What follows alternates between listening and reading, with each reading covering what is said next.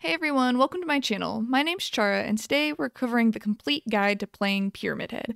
The Executioner is my favorite killer in Dead by Daylight, but there are definitely some complexities to using his power, both in terms of mechanical ability and the player's ability to make the right decisions at the right time. In this guide, I'm going to walk through the basics of playing Pyramid Head, then talk about gameplay and some tips and tricks on using your rites of Judgment and your Punishment of the Damned attack, and how to know when to hook versus cage a survivor. I'll also be covering a tier list of all of Executioner's add ons, and then going through good perks to use on Pyramid Head, and finally some example builds that would work well on him. I have timestamps for everything down below, so feel free to skip ahead to whatever section interests you most. First, an introduction to Pyramid Head's kit. The first part of his kit is the Rites of Judgment. This is when you drag your sword on the ground and leave torment trails, which are the barbed wire looking things. These remain on the ground for 75 seconds. Any survivor that walks or runs over your torment trails will be afflicted with torment. Survivors can crouch over your trails to avoid getting tormented. Survivors that get tormented will trigger Killer Instinct for 3 seconds, which highlights the survivors in red and provides a visual visual and audio cue of their location. Tormented survivors also will have the barbed wire coming out of their feet until they are no longer tormented. This can make them easier to track as you can sometimes see the barbed wire going around corners even if you cannot see the survivor themselves. There are restricted areas where you cannot place torment trails. These restricted areas include hook survivors, generators, and the basement. Trails placed in these areas will disappear after about 3 seconds. You can also release the Rites of Judgment to make a long ranged attack known as Punishment of the Damned. Punishment of the Damned is an 8 meter long, 1 meter wide wave that projects from you that inflicts a damage state to any survivor in its path. And if there are two survivors in that path, you can hit both of them. Punishment of the damned can go down incremental slopes, such as hills or the stairs leading to basement. However, it cannot go up slopes, so you cannot hit up the stairs or other inclines. It also can't go through gaps to hit survivors on the other side of them. If survivors are afflicted with torment, you can send them to a cage of atonement when survivors are in the dying state rather than carrying them to a hook. Sending survivors to a cage only takes about two seconds, so it is much faster than hooking survivors. Cages count as a hook state for the survivor, but cages do not work with any hook related perks from either the killer or survivor side, such as Decisive Strike, Borrowed Time, or We'll Make It for survivors, or Pop Goes the Weasel for killers. If a survivor has reached the second hook stage and they are afflicted with torment, you also have the power to use final judgment on that survivor to execute them using a mini mori, which only takes about 3 seconds. Torment is only removed from a survivor when they are rescued from a cage of atonement or they rescue another survivor from a cage of atonement. Alright, so moving on to using your power and how to best utilize it in game. During the game, I generally don't walk around creating torment trails all over the map, as this is usually pretty inefficient. Instead, try to be selective about putting down trails in places survivors might not see, such as in tall grass or behind a corner or in common choke points, which survivors might accidentally walk or run over. When chasing survivors, try to put torment trails down on a pallet of a loop or another bottleneck point, such as a doorway. This will often force survivors either to run through the trail and get tormented, or the survivor will have to avoid the pallet or doorway entirely, and you can get a free hit on that survivor. Some survivors will go to great lengths to avoid getting tormented, so make sure to capitalize on that in order to get injured states quickly. Uh, next, moving on to your punishment of the damned attack. Your punishment of the damned acts as a shockwave, meaning it will surge out from you. This also means that you will have to time your attacks in order to effectively hit survivors. If you are chasing a survivor and approaching a pallet or window, you want to put down your sword early so that you are ready to use your punishment of the damned attack. Um, you want to wait until the survivor is locked in animation, so either vaulting a window or pallet or dropping a pallet. That way, you can guarantee the hit on the survivor. The biggest mistake I see beginner executioners make is not putting your sword down early enough. If you wait until after the survivor vaults the window or drops the pallet, it's too late for you to ensure the hit. You can try to guess which way the survivor will run after vaulting, but the survivor normally has three options. They can juke left, they can juke right, or they can remain straight. Unless you are very good at predicting, you're much less likely to hit these shots than if you had put your sword down earlier. Other places to get guaranteed hits are hallways or other bottlenecks where the survivors don't have a ton of room to the left or right to juke away from your attack. And finally, when survivors rescue other survivors from a hook or cage, they also become locked in animation. So if you time it right, you can hit both survivors after the unhook or rescue action happens. You want to time it so that the survivor is fully on the ground before you release your attack, or otherwise, it will only hit the survivor who is rescuing. At most loops, if you have your sword planted in the ground while a survivor is approaching a thrown pallet or window, the survivor has two options. One, they can vault the window or pallet, which is where you release your punishment of the damned attack and get the hit. The second option is that the survivor fakes like they're going to vault the pallet or window, but don't actually. My biggest tip for this is to just be patient. Don't release your attack until you actually see them vaulting. If they don't vault, you can cancel your rites of judgment and hit the survivor with a basic attack. This is one of the biggest strengths of Executioner. Your ability to zone survivors is one of the best in the game. A bonus tip if the survivor is carrying an item, this is much easier to see happen. If you watch their item as they approach the window, if the item disappears, they are committed to vaulting and you know to release your punishment of the damned attack. If it doesn't disappear, you know they are faking the vault. So this is slightly trickier when pallets are not yet thrown. Survivors here also have two options. One, they again throw the pallet, or two, they keep running past the pallet. Most good survivors will keep running past the pallet because they know you can hit them while they are throwing the pallet. So depending on how big the pallet loop is, often your best bet is to put your sword on the ground, walk through the pallet loop, and then cancel your power and continue chasing them normally. You will eventually make up the distance because you are faster than them and be able to hit them. You can also try to make a smart prediction. Something I really like to do is early in the game when chasing a survivor out of pallet loop, I like to throw a punishment of the damned attack by aiming directly in front of the survivor. This is a little risky because they could totally just dodge out of the way of your attack, but it often works if they're not expecting it, and it kind of sets the precedent that you are an executioner who is not afraid to go for those risky shots. Oftentimes, this gets in their head a little bit, and the next time you are in a similar situation, the survivor might try to dodge like this instead of running straight, allowing you to cancel your power and get the basic attack instead. You can also get hits behind walls or obstacles. This is easiest when you have perks that provide aura reading capabilities, such as I'm all ears or a nurse's calling, uh, but you can try to go for shots based on the sounds of survivors breathing or moaning as well. As you get better at Pyramid Head, you can start trying to go for more prediction shots. Uh, survivors are often predictable. If you recognize patterns in how a survivor plays and runs loops, then you can determine when to use your punishment of the damned attack. If a survivor is always running straight, never looking behind them, you can try to aim ahead of them with your punishment of the damned. If survivors always juke your long ranged attack, then adapt to this uh, and don't go for those shots cancel your rites of judgment, and hit them normally. The best survivors will kind of do a combination of these two things as to remain unpredictable. Next, I want to talk about when to hook versus when to cage survivors, which is a key decision you'll have to make. In general, caging is usually the better option. It is much quicker than hooking, and you are guaranteed a hook stage. Whereas if you try to hook the survivor, other survivors could come and pallet or flashlight save, or the down survivor could wiggle off your grasp. You want to cage survivors when other survivors are nearby because one, you have somebody nearby to chase, and two, if all the survivors are nearby to you, then they will have to run across the map to rescue the cage survivor, which, which wastes a lot of their time. Cages usually spawn almost as far away from you as they can, and these are the same locations as chest spawns or other killer item spawns such as a Freddy's alarm clocks or pig boxes. So if you sur- see survivors nearby, like greeting a generator or perhaps lurking to get a flashlight save, sending the survivor away in a cage allows you to begin your next chase immediately. It also eliminates the danger of a survivor getting a flashlight or pallet save or sabotaging a nearby hook. Now, there may be situations where you have a survivor tormented and you don't want to cage them. You want to hook that survivor instead when you believe the other survivors are all far away from you, because if you cage them, they will most likely spawn right next to their teammate who will rescue and heal them before you even have a chance to walk over there or to find another survivor.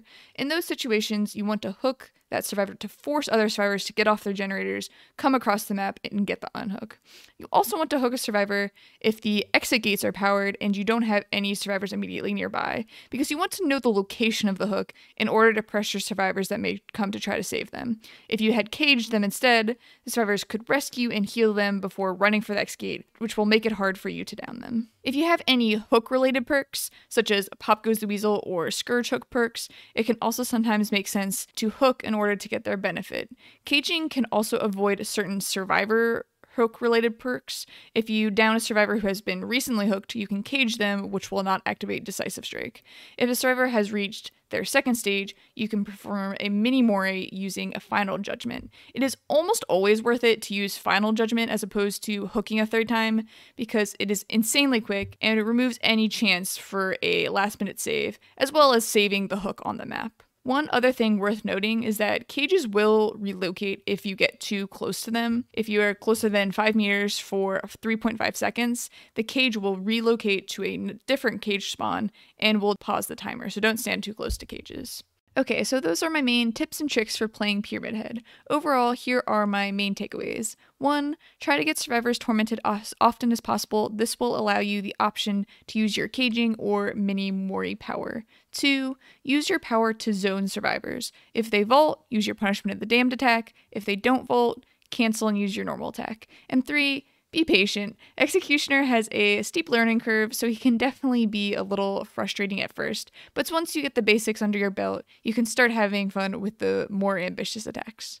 Alright, next we're going to cover all of Executioner's add ons, which kind of pains me a little because Pyramid Head has some sad add ons. I really hope the developers rework them soon because they are really simple, they don't really change his playstyle much, and a lot of the ones besides the top tier ones are just not even worth running. So I have my tier list here, and I'm going to work through each of them from best to worst so you know which ones are worth running.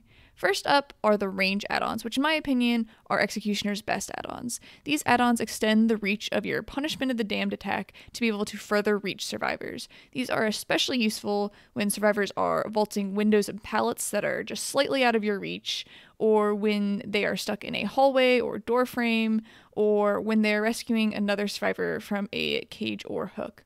These add ons, especially the green add on, allow you to get hits that probably seem a little unfair to the survivors. Your base range is 8 meters, which is actually pretty good for most loops, but having that little extra distance can sometimes make the difference between getting the hit and not getting the hit. Um, so the green add on gives you an extra 1.5 meters, the yellow add on gives you an extra meter, and the brown add-on gives you an extra 0.5 meters. These also work really well with perks that have aura reading capabilities, such as I'm All Ears or A Nurse's Calling. Most likely you'll want to be stockpiling these add-ons.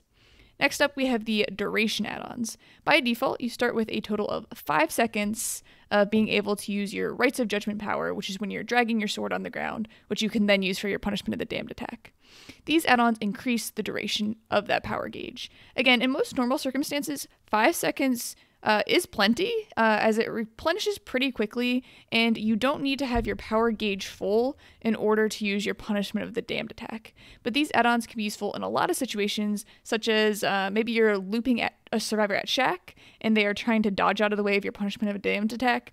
You can keep your sword on the ground and keep running the loop until you're right next to them, then cancel it and hit them with a normal attack, or wait till they vault the pallet or window uh, and then use your punishment the damned attack. These can also be useful if you're trying to put down lots of trails on the ground to get sur- survivors tormented, or if you like to repeatedly use your punishment of the damned attack. Uh, these add ons are really useful, especially the green add on. Okay, so if you just want to know the best add ons to use, I would recommend using the Green Range add on, which is the Burning Man painting, um, and either stacking this with the Green Duration add on, which is the Tablet of the Oppressor, or stacking the two best range add ons, which is the Burning Man painting with the Wax Doll. Uh, but I think those are the two best add on combos for Pyramid Head. But regardless, you probably want to be stockpiling up on the range add ons and the duration add ons when you are leveling up your Pyramid Head's Blood Web. But I'm going to continue down the tier list. Next, I have one of his iridescent add ons, the far better of the two, which is the Eerie Seal of Metatron. This add on lets you see tormented survivors when you cage a survivor for 6 seconds. This is pretty good info, uh, almost serving as like a mini barbecue for caging survivors. This can be helpful in determining what gens they are working on, or potentially giving you the location of a survivor you might want to chase next. I'd say the limitations of this are that in most games, you probably won't have all of your survivors tormented, so you'll be a little more limited in the info that you get. It also depends on how often you cage people and how often you torment people, and some survivors are really adamant in not trying to get tormented, um, so it can it can vary eh, from game to game. So overall, I'd say this is a pretty good add-on, and I'd say it's worth using, uh, but it's not terribly game changing. Uh, next up, we have the Duration of Trails add ons. These add ons simply increase the time that your rites of Judgment trails remain in the environment. The base time is 75 seconds, which is a fairly long time. Uh, these can be fun for some more gimmicky builds, but in general, I would say they're not too useful. They can be better on smaller and indoor maps where th- there are areas that survivors more frequently run by. I will also point out that there is an upper limit to how many trails can exist in the environment at any given time. If you put down too many trails, they will start to replace your oldest trails. Uh, so keep that in mind if you want to go around the map, putting trails down everywhere. So these are okay, and they can definitely be fun in some situations. Next, we have the Lost Memories book. This add on makes survivors that run over your trails oblivious for 15 seconds. Oblivious is a good status effect, but 15 seconds is a really short amount of time. Also, normally when survivors are running over your trails, they are actively being chased by you. So you're not gonna sneak up on them, they're still still going to know that you're there behind them. This can work on newbie survivors, but good survivors will see that they're oblivious and know that you are still chasing them. So, overall, not too useful. Next is a similar add on, which is the rust colored egg, which makes survivors uh, that run over your trails afflicted with the blindness status effect for 60 seconds. So, a worse status effect of blindness as opposed to oblivious, but a longer duration of 60 seconds it's okay. Again, if you're chasing them and then hooking or caging that survivor, 60 seconds of blindness really doesn't do much if they're just sitting on a hook. Uh, also, I will point out that blindness does not affect pyramid head cages. You can see them through blindness, similar to pig's boxes. So, overall, again, not that great of an add on. Next, we have the three power recovery add ons. These decrease the recharge time of your power. For a lot of killers, recovery add ons are some of their best add ons, but for Executioner, you don't need to have your power gauge full in order to use it. You can use it as long as you have any charges, so it is not as important. If you want to use your power more, I would recommend using the power duration add ons instead because they increase your total power gauge instead of just your recovery. So, since these are just worse versions of other add ons, and I can't really see a, use in, in, in having these as opposed to those, uh, I'm going to rank them pretty, pretty low here.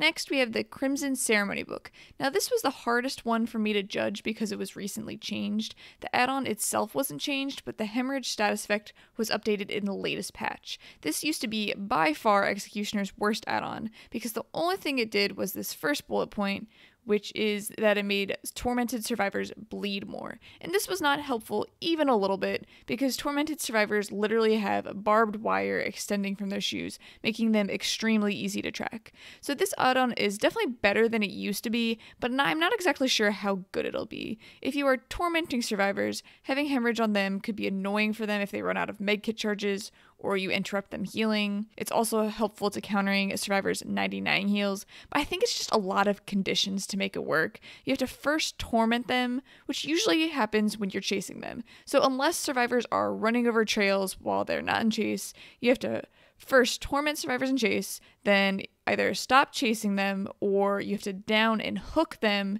instead of caging them so that they keep their torment. And then you have to interrupt them healing or have them stop healing for some reason. I just think it's way too many conditions and not enough gain if you do get it to work. I definitely think there's potential for it to be higher than this, but I think I have to put it here for now. Next, we have the other Eerie add on, which is the Obsidian Goblet. This is probably one of the worst Eerie add ons in the entire game. It makes you undetectable when you're standing on a Rites of Judgment trail, kind of as like an add on version of the perk Insidious. Now, this doesn't work when you are moving and dragging your sword on the ground. You have to physically stop and stand on your Torment trails. I tried to play around with this add on. I want it to be better than it is, but I just really don't think there's much of a purpose to it besides, you know, camping hooks, which I am not going to recommend that you do. Your time is very limited as killer, so you want to be moving and exerting pressure as much as possible, and this just doesn't help you accomplish that. So I would not recommend using it.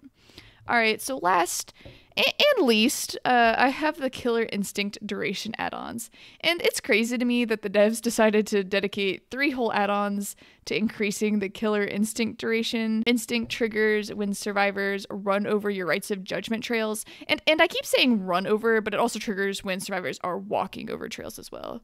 Most of the time that they do that, you are actively in chase with them, so you know where they are already. Sometimes survivors will walk or run over your trails across the map, but the base three seconds is fine enough to see their general location. There's just no real point to these for me. Sure, you can try to get a punishment of the damned attack through a wall using the extended killer instinct, but the killer instinct isn't as exact as an aura reading ability, and again, you're chasing them. You kind of know where they are already.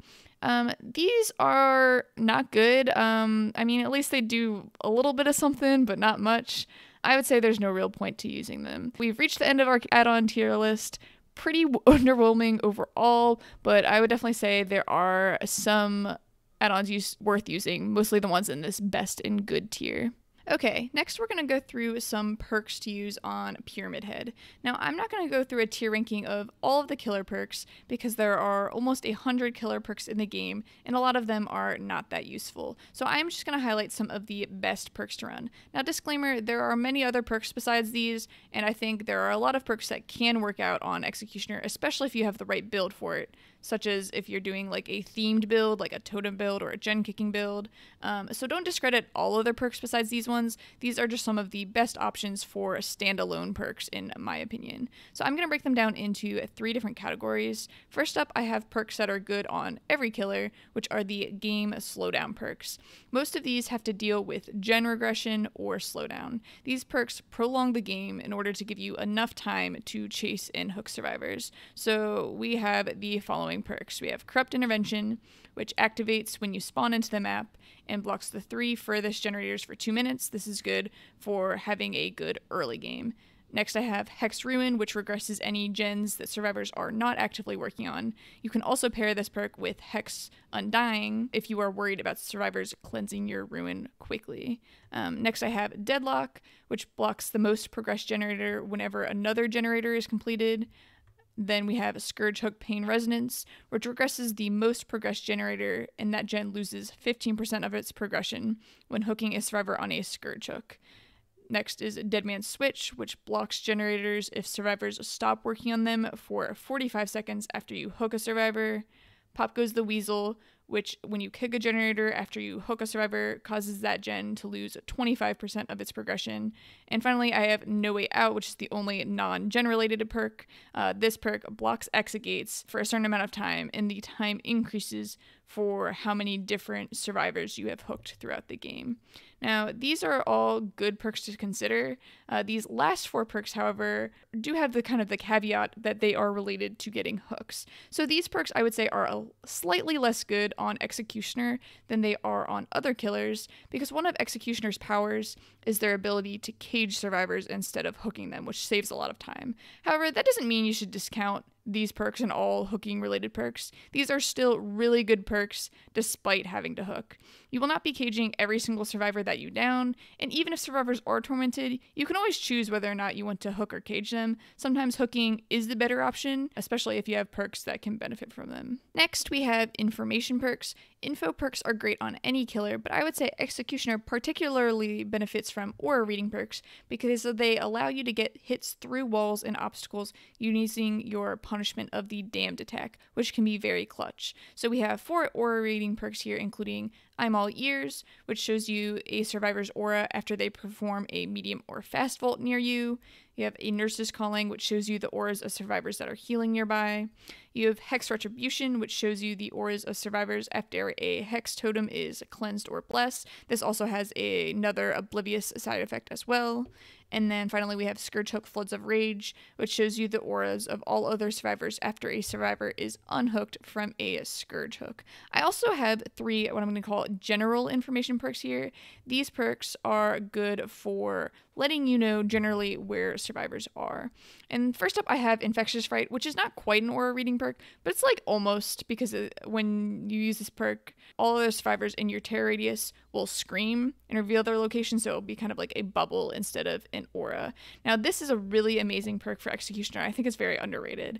One, Executioner has a lot of snowball potential with his ability to quickly injure and down survivors, so knowing where survivors are when you down a survivor can help snowball certain situations for you.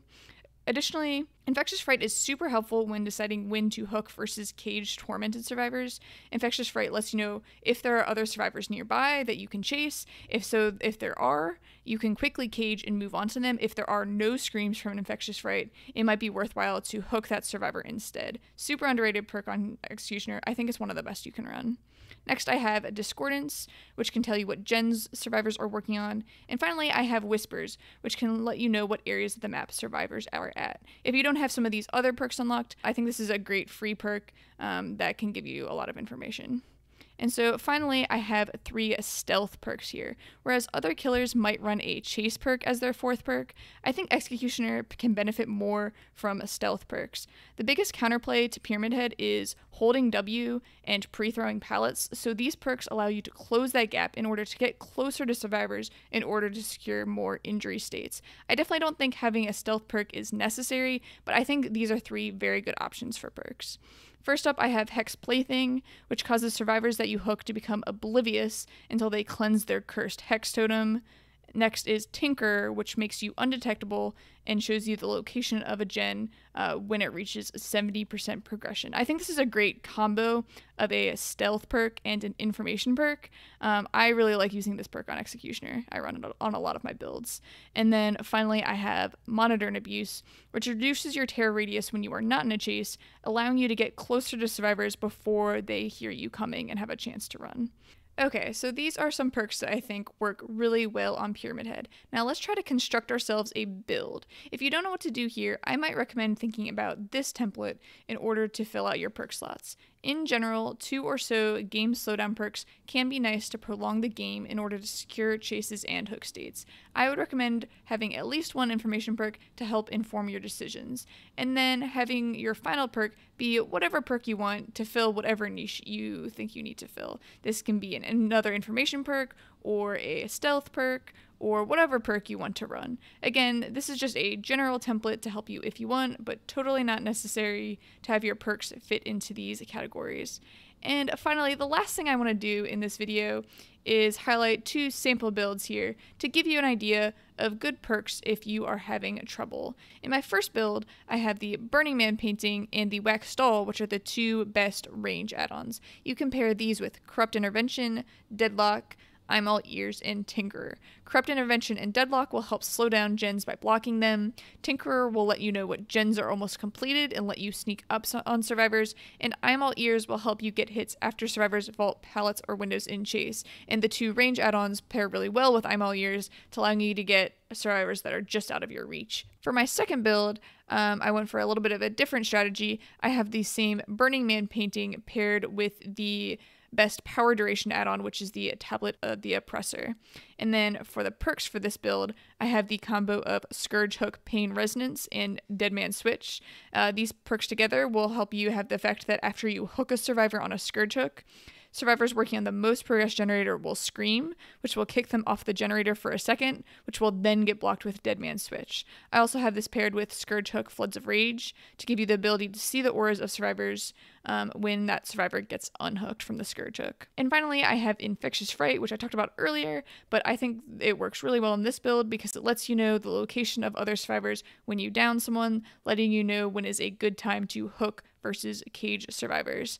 And alright, that's it. I think that's all I have for the video. I hope this guide helps you become a better Pyramid Head main. If you have any other questions that I didn't answer throughout the video, feel free to drop them in the comment section below and I will try my best to answer them.